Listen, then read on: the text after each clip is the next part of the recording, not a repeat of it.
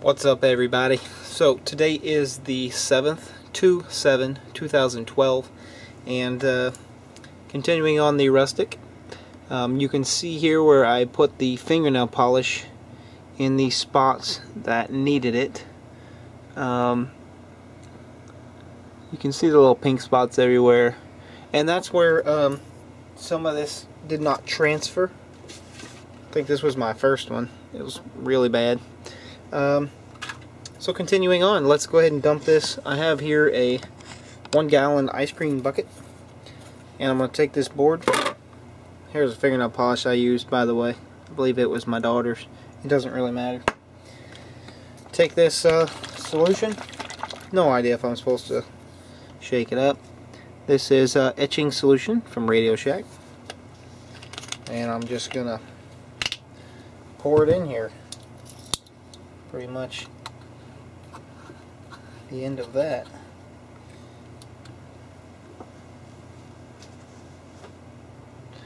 I'm just going to cover the board. Try not to waste this stuff.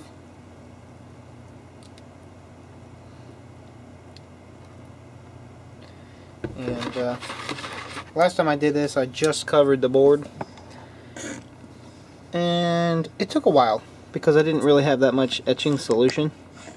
So this time, looks like I used about uh, this much of my jar, or my container here, which wasn't really bad. So I'm going to start a timer, and uh, boop, I'll let you know how long this takes. I'm not going to do intermissions like I did last time. I'm just going to let it go. Now if I had a little sloshing machine, a sloshing machine. That's an interesting one. Then uh, this would go faster. So I'll show you when it's done. Here we go. 43 minutes. And uh, looks like we're done.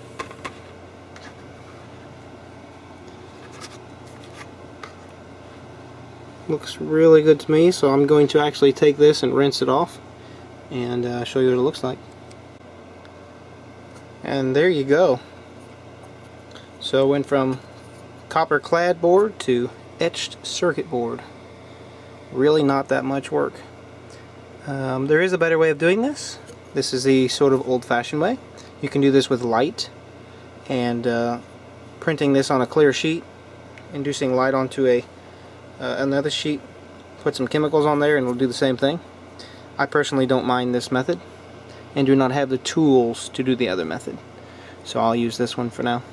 You can see where the purple fingernail polish, see it's clear, you can see where I put it, and you can see everywhere I didn't put it, such as that little spot.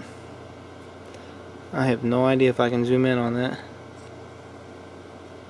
See that little spot next to U11, where it's not supposed to be? You can see how it went through there, but here where I coated it, worked out just well. So,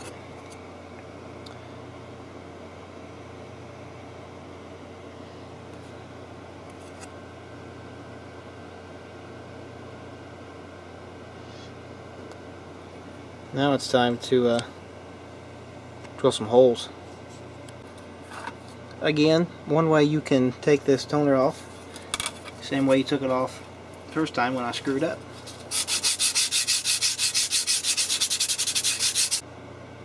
Alright, so there you go. It's not as nice as what Kevin made, but it's going to do the job. Now, you can see in a place such as this, where I put the uh, fingernail polish. Let's see right there. Right there where I put the fingernail polish. I'll have to go back and make sure those aren't touching. And kind of go through the whole thing like that. But this method proves to be affectionate. It's really not that expensive.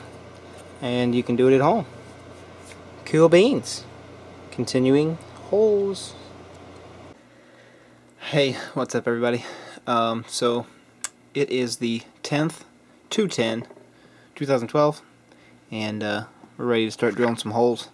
So, what we're going to do is, what I've done here I should say, is I've gotten a block of wood, okay?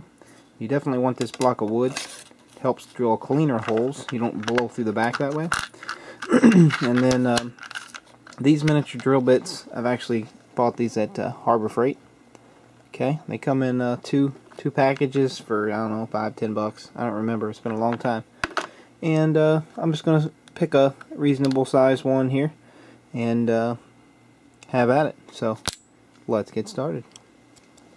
Alright guys, so um, just for pure sake of people who do not have a drill press, you can use a Dremel. Put that bit in that Dremel and uh, just and actually I've done that uh, on my last uh, circuit board. The other thing that Kevin did, Kevin Williamson, was took a drill like this and um, mounted it to a metal bent plate. And then um, mounted that to a baseboard. And he just uh, would tie the trigger on probably and just okay so you can use a regular drill. You just have to make a jig for that um, I am going to use the drill press this time I think it will actually be easier so here we go alright I've got this set at a decently high speed um, matter of fact almost all the way up. So just have at it. Start. Alright. So there you go. All of the uh, holes are drilled and uh, turned out real well. Bring it to another light here and show you. Alright, so there you go. That didn't take too much time. You can see my white shirt in there. But anyway, um, so next video will actually be components. I don't know how much I'm going to actually videotape of actual component like placement and soldering. Might do a little, but uh, might not. So that's how you etch a circuit board. This is the Russtic Frequency Generator 7.0. And, uh, yeah. Kevin Williamson, Russell Gries there you go. Peace out, homie G's. Um, take care. Catch you next time. Thanks for watching. Leave a comment. Bye.